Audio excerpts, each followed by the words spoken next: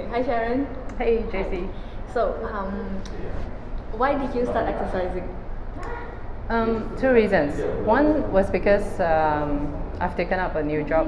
Um, it's an office job, Mhm. so it requires me to be sitting down at the desk, um, pretty much nine to five kind of thing. Um, so then I felt like I need to move more.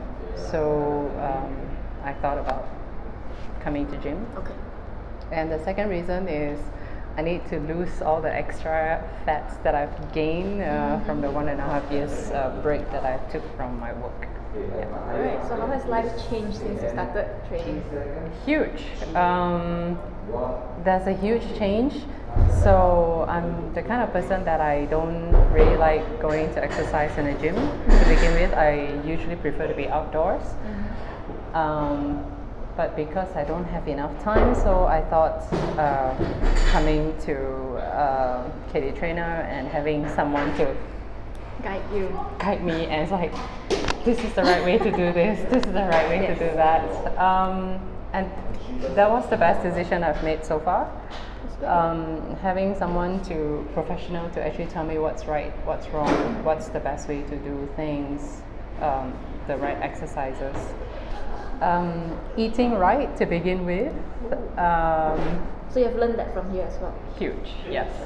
So uh, it has changed um, my life so much in terms of eating and exercising and sleeping as well. That's part of your lifestyle. Totally. Good lifestyle. yeah, totally. Do you have a favorite exercise? Um, that that's a really tough one. Uh, I don't have a favorite one. I guess it's the combination of everything that my trainer Yeah. sort of like uh, planned out for me that really works well. Um, and what I like most um, is that my trainer actually uh, tried to work something that fits my needs. Is it fun? Fun is depends on your definition of fun. Okay. In general, Mm. yes. Okay, that's good to know. Last question. Uh, how did you manage time between your career and exercising? Um, it's not easy. Uh, work already take up most of your time. So basically, it's more about determination. So when I've made up my mind that this is what I want to do, then I just make sure that other than work, family, exercise. Okay. So then everything else that comes, you just plan around that.